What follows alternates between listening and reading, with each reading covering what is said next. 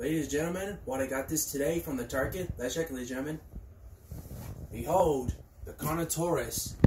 That reminds me from that from Dinosaurs 2000 from that Disney version one. What do you think, ladies and gentlemen? That reminds me. Remember, like Jurassic World: Fallen Kingdom, ladies and gentlemen. Remember, look like a horn, like a like a dragon. Looks like trying to do charge or something, ladies and gentlemen. What do you think, ladies and gentlemen? The next one is I got this last week ago on on Barstow last week ago. Let's check, ladies and gentlemen. This is the red lamp I never seen. This is a magic lamp of the red version one. What do you think, ladies and gentlemen?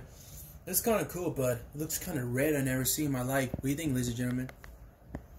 And today, what I got this from Family Dollar today, Dragon Heart Collections editions, and these five films. These films, like everyone loves Dragonheart so much. Did you know the first film was the dragon? He's only one kind, but he's only the last kind. And remember, gentlemen, dragons never exist. Dragons are mythicals. They're fire-breathing lizards and every scene, and gentlemen. Remember. Enjoy the five films, ladies and gentlemen. And thank you everything, ladies and gentlemen. Remember, enjoy the summer and August. Ne almost next month in August, last day of month of summer.